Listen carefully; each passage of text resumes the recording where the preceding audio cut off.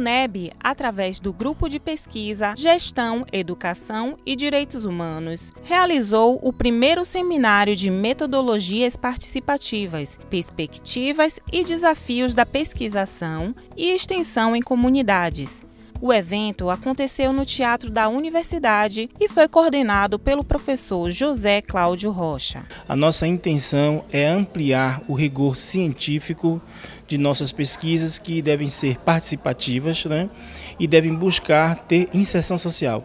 É, esse tipo de metodologia nós temos trabalhado, nós temos vários programas dentro da universidade, como por exemplo os mestrados profissionais que trabalham com metodologias aplicadas, metodologias participativas e a nossa intenção é aperfeiçoar, melhorar nossas formas de desenvolver essas pesquisas, porque o momento ele é muito propício para o desenvolvimento de pesquisas junto às comunidades. O evento contou com a conferência sobre metodologias participativas para a solução de problemas coletivos e a transformação social, ministrada pelo professor Dr. Michel Tiolan, que atua na área de estudos organizacionais e metodologia de pesquisa qualitativa, pesquisando principalmente temas como pesquisação, cooperação, métodos de pesquisa e de extensão compromisso com a sociedade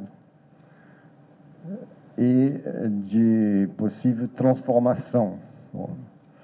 O que eu vou apresentar, tem uma parte que, que não é muito nova, talvez algumas pessoas já tenham uh, ouvido falar disso, é uma apresentação muito, que sequer é um pouco didática, um pouco introdutória, sobre a concepção das atividades universitárias numa perspectiva de pesquisação.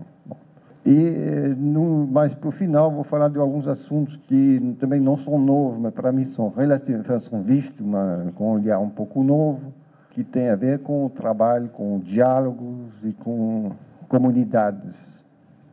A vice-reitora da UNEB, professora Carla Liane, destacou a importância da iniciativa para a universidade.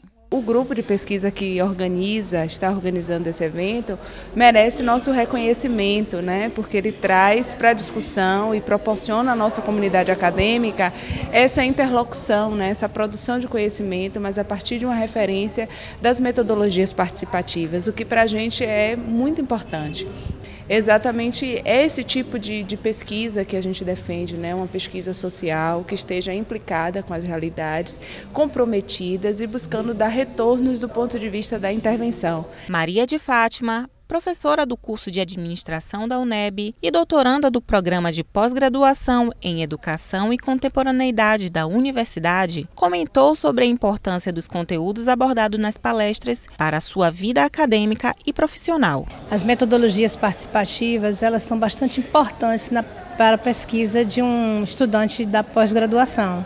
É, o professor Tiolan é uma referência nacional e internacional né, nas pesquisas, né, nessa área específica, pesquisação, e participar é extremamente relevante para a própria instituição, para a minha pesquisa e para o meu futuro acadêmico profissional na instituição.